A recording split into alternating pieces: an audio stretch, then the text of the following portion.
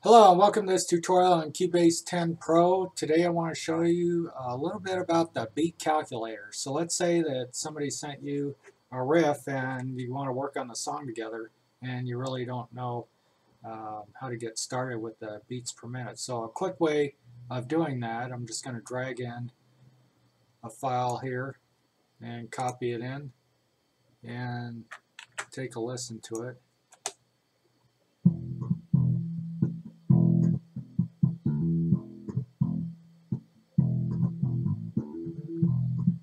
Okay, so I could kind of hear the beats per minute, but I can't guess it off the top of my head. So what you can do is go up here to Project and go to Beat Calculator and then uh, play the file and tap the tempo button here and then use your space bar to tap in the tempo. So let's see how that goes.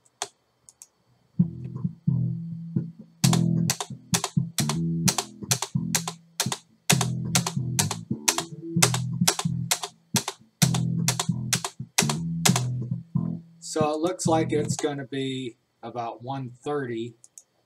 So I'll change the project here to 130 beats per minute.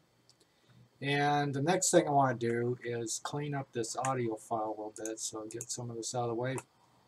And hold down the uh, control key on the keyboard and slip it at the, or slide this over until you get it right on where that starts and then drag it to the very next beat and it should snap right in there. So I'll just uh, do a select all and P to get everything here. And I want to find out if this loops. So I'll put this in loop mode. And obviously it's not going to work out because there's a little tail here. So what I'm going to do is just bring that in and then change it here and let's see if that works.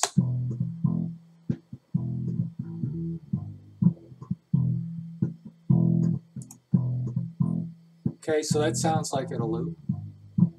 Alright, so let's say that uh, maybe you want to speed up the song or slow it down and uh, the way that you can do that, normally if you uh, have recorded a clip into Cubase is put on musical mode here but since this is kind of like a rogue audio file and wasn't recorded into Cubase, if I click the musical mode here, it's going to have a pretty ill effect on the clip itself. So let's hear what that sounds like. So it's not following the tempo here anymore. So the way that we can get it to follow the tempo is to bounce this in place. So you go up here to Audio and Bounce Selection and replace and then click the musical mode and there's not going to be any problem with it shifting. So now we can change this to anything.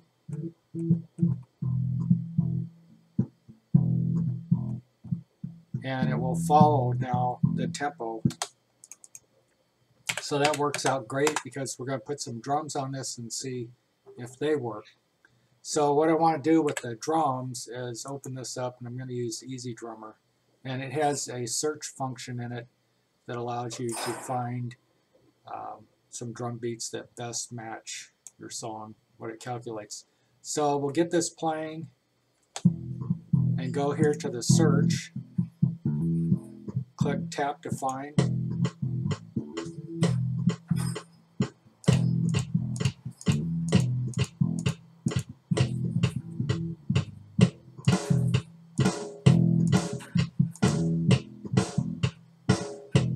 We'll just go with a beat like that and click show results and then um, it's come up with a few different matches, some of them 100% and then it goes on down the line here. So let's see how these work.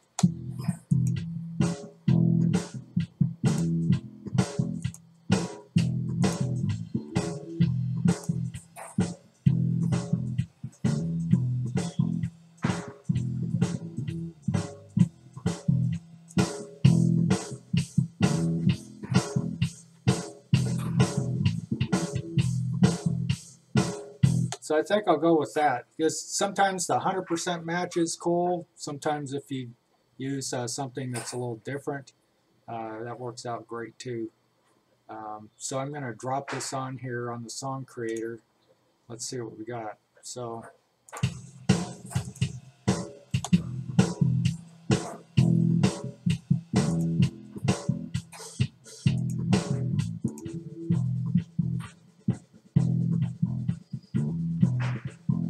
So I'll try something like that and just drop this up here. And let's see what we can do with this.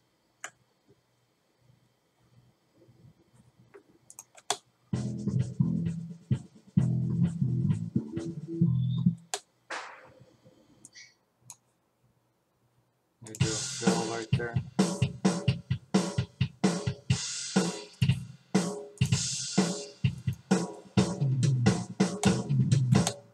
That might work. So that's a little longer, so we can just trim this, put it in there. And then uh, maybe use a source file that was a direct match.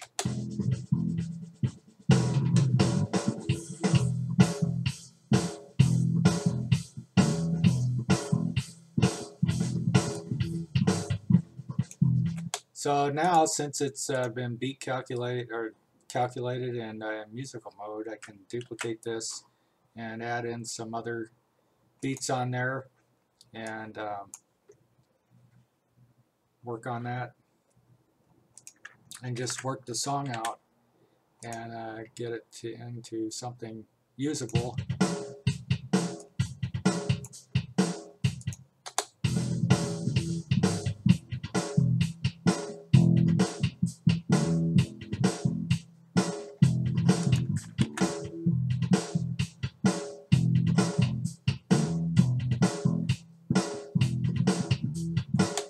So that works out okay. So if I wanted to uh, spice this up a bit, you know, I could put it into uh, my own bass effect track and uh, make it really nice that way. Um, so that concludes this tutorial on how to use the beat calculator uh, to get your project going if somebody sends you a file and you want to start working on that together. And I hope to see you in the next tutorial. Thank you very much for subscribing to my channel. I appreciate that. I'm really amazed. And just thank you. And I'll try to keep coming out with tutorials as we all have to stay home now uh, with this virus going on. So hope you're doing well and God bless you and be safe. And I'll see you in the next tutorial now. Bye.